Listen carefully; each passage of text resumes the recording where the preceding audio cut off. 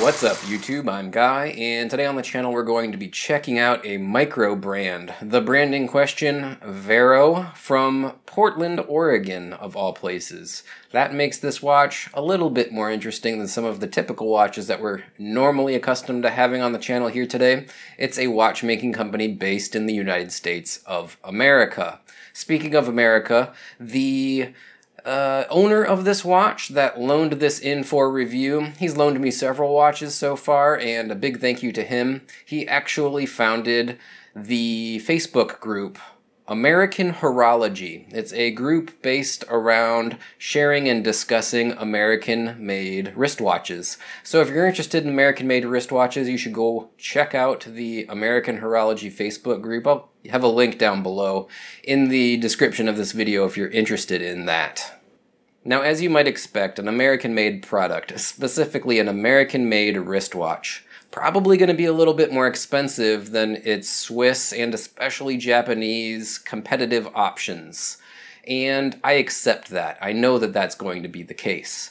This watch comes in at a price point of just over a $1,000, but I'll tell you, I think it's probably worth it. It's got a very good build quality, and I do accept that made in America means it's going to cost more money.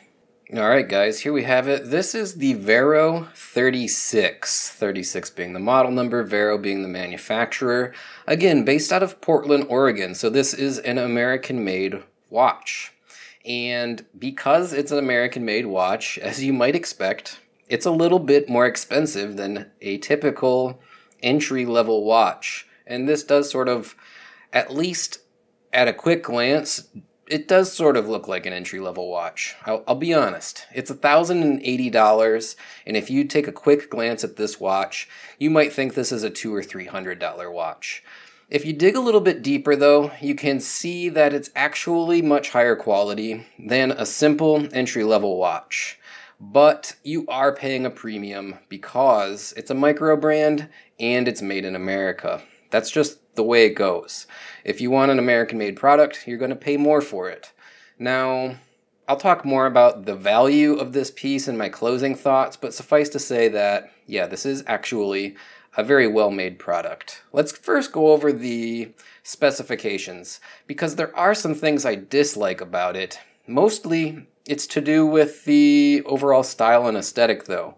Uh, the overall dimensions 36 millimeters in case diameter from edge to edge, not including the crown. There's no crown guards on this case. Lug width where the strap attaches to the case 18 millimeters. Lug to lug, from tip to tip, from one extremity of the case to the other, 43 millimeters, but that's what their website says. On my calipers, it comes in closer to 42 millimeters lug to lug. 42, maybe 42 and a half. And the overall thickness, including this uh, slightly domed sapphire crystal, very thin actually, 9.5 millimeters. Overall, there's some problems with the dimensions for me. I'll get to that in a second though. So the other basic features on this watch, while we don't have a screw down crown, we do get 100 meters of water resistance, which is nice. We also have a box sapphire crystal, kind of a slight dome, if you will. Very nice as well. We have an exhibition case back, and that crystal on the case back, also a sapphire crystal. The dial is interesting, and we'll talk more about it in, in a few minutes, but it's a nickel plated brass dial with a uh, ceramic coating, is how they describe it on their website. I'll bring in some real close kind of macro shots for you to take a look at it. While the dial is sort of simplistic in design, it does seem to be very nicely made. Equally, the handset is very nice as well. It's a high polished black oxide stainless steel, and again, it does have a little bit of superluminova luminescence on the hour and the minute hands. And finally, the movement. It is a really nice movement, actually. It's a Sellita SW210. The 210 is basically a hand wind only version of the Sellita SW200. The nice thing about this particular movement, as installed by the Vero watchmaking company, it is highly regulated, regulated in six positions to plus or minus five seconds per day. So when you look at that price point, don't just gloss over the fact that this is a very highly regulated movement. Now, if you don't value accuracy, then that's not going to be important to you. But don't dismiss the price of this watch as being exorbitant if you aren't willing to account for the fact that that accuracy comes with a price. You have to pay for that. Now, other basic information about this movement, it's 19 jewels, you have a 42 hour power reserve, it is a hand wind only movement, and of course, it does have stocks, excuse me, stop seconds hacking when you pull the crown out. Speaking of that crown, very nicely done. You can see it signed with the Vero logo. The knurling or texturing on the edge of the crown is sort of like a coin-edged engraving. Very easy to operate the crown for hand winding. Very easy to pull the crown out to the first position in order to hack the movement and set your time as needed. The case is well done, 316L stainless steel. Overall finishing is honestly outstanding. If I can get it to pick up good on camera here, entirely brushed, satin brushed stainless steel finishing, it looks great. You'll notice that the lugs are perforated or drilled, so you can easily remove the strap and change it out with something else if you want to. Yeah, overall the case is really well done in terms of fit and finish. My complaints also start with the case in a number of ways. Number one, the 18 millimeter lug width, I honestly can't stand watches that are 18 millimeter lugs. I don't like 18 millimeter straps. The extremely popular Seiko SNK 809 is a 37 millimeter diameter watch with 18 millimeter lugs. I can't wear that watch, and I don't think I could wear this one either. I often like 36 millimeter or 37 millimeter diameter cases, but not with such a thin lug width or a thin strap. It just feels too delicate or almost feminine on my wrist. I just don't prefer it. And that's going to be my first big complaint about this watch. Purely subjective. This might not affect the vast majority of you guys out there watching this video, but that's just the way that I feel about it. I also find that the lug to lug 43 millimeters is what they list on their specs, but on my calipers, closer to 42 millimeters is a hair too short. It just makes the overall watch feel even smaller. Couple that with these very, very thin, delicate lugs, and yeah, it's just a very small, petite presentation. It has very little presence on the wrist. I don't really enjoy wearing it because it feels so small. If they moved these lugs out to be 20 millimeters, if they bulked them up with a little bit more metal or material here, I think that you could keep this 36 millimeter diameter case and it would wear perfectly. As a matter of fact, a 36 millimeter Rolex Datejust on paper has very similar dimensions 36 millimeters both watches but the Datejust is 20 millimeter lugs and this is 18 both the Datejust and this watch have roughly 43 millimeter lug to lug widths, but of course the Datejust has much more of a, of a body or shoulder on the actual profile of the lugs. So that watch wears wonderfully, in my uh, opinion, whereas this one wears a little bit small and it feels very delicate on the wrist. Another problem I have with this watch is the overall style or aesthetic of the dial. Now, I think the materials or the construction of the dial is honestly outstanding. Again, it's a nickel-plated brass dial, and on the website they say that it is ceramic coated. I don't understand that process, but I can tell you that under magnification, looking at this dial, it looks very nice. I'll try to get in real, real close here and let you see. It's almost got like an orange peel kind of texture on the dial. I don't know how well that'll show on camera. It might just look like a matte flat dial. Uh, but yeah, it, it does have this nice orange peel sort of texture to it. Maybe because of that ceramic coating, maybe because it's nickel plated brass. I don't exactly know. Overall though, it looks good in terms of quality, in terms of materials, but the style is somewhat boring. The handset is outstanding. We have high polished black oxide steel, and again with a little bit of superluminova on the hour and minute hands.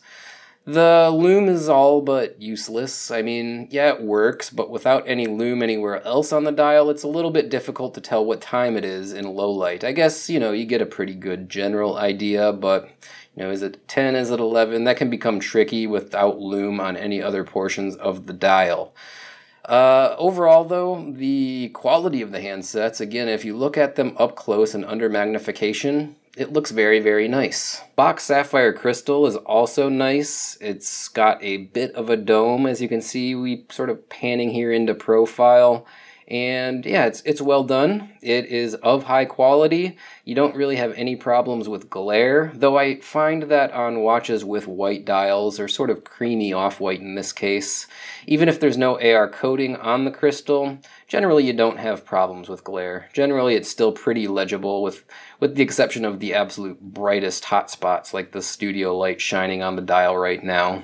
The brown leather rally style strap that this watch comes on is very nicely done. There's a simple satin brushed buckle. There's a very slight contrasting stitching going on throughout the entire strap. It's uh, overall excellent. My only complaint about this strap is it's not lined on the underside. And while that's not entirely necessary, I would say that, you know, with a watch that's coming in at oh, slightly over $1,000 in price, uh, the and, and if it's going to come on a leather strap, the strap sh- should at a minimum be lined. It should have that little extra bit of you know higher quality materials. Uh, but overall, yeah, it is a good strap, so it's not really a major complaint.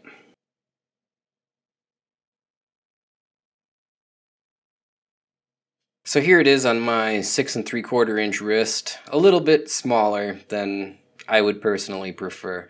And again, on paper, the dimensions don't sound bad. 36 millimeters is an okay sized watch. Uh, 43 millimeters lug to lug is not too short, but that 18 millimeter lug width, that basically very thin profiled strap, doesn't work for me. The fact that the overall profile of the lugs are so tapered, thin, or delicate just makes the watch feel even smaller than it really is. Overall, yeah, it's simple, it's plain. It does actually look pretty good on the wrist if you're going for that sort of summertime, you know, no worries, no cares kind of attitude. Like, that's the type of watch that it is. And, you know, in that role, sure, it does work. Uh, just not the style that I prefer. Uh, but overall, I think it's a very high quality watch. I think that the materials and the overall build, I think it's really well done.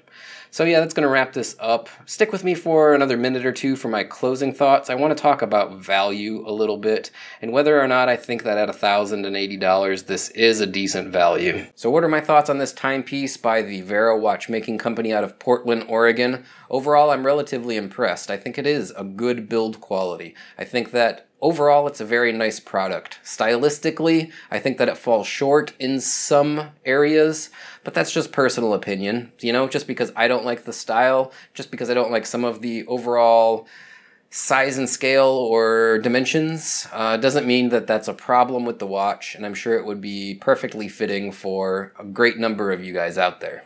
So plenty of people are going to say it's not worth the money, $1,080, it's too expensive. Value has a few components. Number one, there is a subjective component to value, but also there is the actual value of the product vis-a-vis what you get for your money and I think this is a good value. It's a good high quality product. There's another component of value, and of course that's retained or resale value. And I don't know what the retained or resale value on a watch like this would be. Probably not great because generally retained to resale value on micro brand watches just isn't great.